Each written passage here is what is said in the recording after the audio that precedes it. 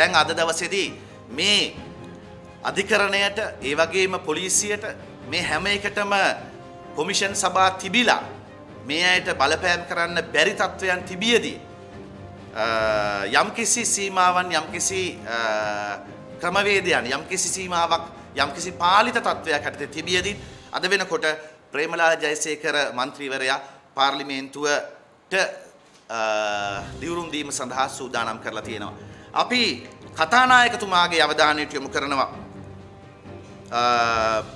ආණ්ඩුක්‍රම ව්‍යවස්ථාවේ පැහැදිලිව සඳහන් වෙනවා.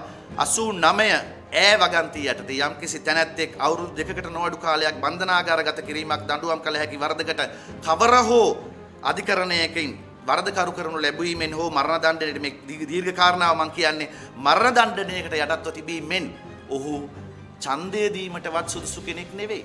මරණ දණ්ඩනයකට නෙමෙයි අවුරුදු දෙකකට වැඩි කාලයක් මාස 6 මාසයකට වැඩි කාලයක් දඬුවමක් නියම වෙලා තියෙනවා නම් ඡන්දය දෙන්නවත් බෑ. ඒ වගේම පාර්ලිමේන්තු මන්ත්‍රීවරයෙක් විදියට සුදුසුකම් ලබන්න බෑ කියන කාරණාව අපි සඳහන් කරනවා 80 91 වගන්තිය යටතේ පාර්ලිමේන්තු මන්ත්‍රීවරයෙක් වශයෙන් දියුරුම් දෙන්න පාර්ලිමේන්තු මන්ත්‍රීවරයෙක් බවට පත් වෙන්න මරණ දණ්ඩනයක් නෙවෙයි මාස 6කට වැඩි දණ්ඩනයක් නියම වෙච්ච කිසිම කෙනෙකුට හැකියාවක් ලැබෙන්නේ නැහැ. එතකොට කතානායකවරයා දැන් තම අභිමතය පාවිච්චි කරන්නේ මේ පූර්වාදර්ශය මේ ප්‍රේමලාල් ජයසේකරද කවුද කියන එක නෙමෙයි අපිට තියෙන ප්‍රශ්නේ. මේ පූර්වාදර්ශය දෙන්නේ හෙට දවසේදී පාර්ලිමේන්තුවට ඕනෑම මිනීමැරීමක් සිදු කරපු කුඩු ජාවාරම් කරපු ස්ත්‍රී දූෂණ සිද්ධ කරලා අවුරුදු මාස 6කට වඩා වැඩි දඬුවමක් ලක්වෙච්ච ඕනම කෙනෙකුට පාර්ලිමේන්තුවට එන්න පුළුවන් කියන කාරණාවද මේ කියන්නේ.